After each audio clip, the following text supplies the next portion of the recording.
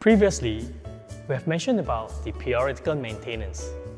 And in this video, we shall give you an idea on how to perform replacement of engine oil with the following steps. First, remove the engine oil plug and discharge the engine oil.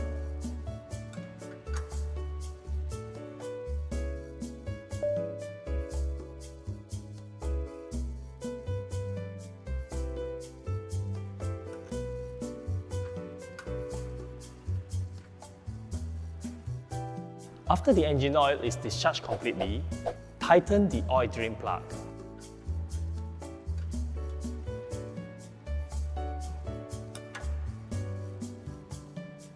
Fill in new engine oil into the oil filler until it reaches the notch line of the H on the dipstick.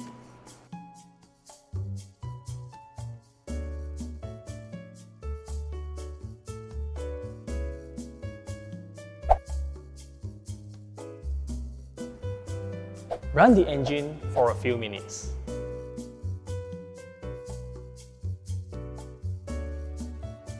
Thereafter, check the engine oil level on the dipstick is between H and L.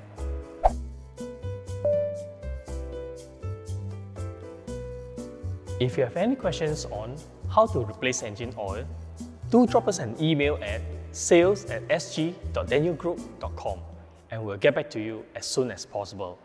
Also, do keep up with the Denyo news and stories for more workplace safety tips and recent happenings. Thank you.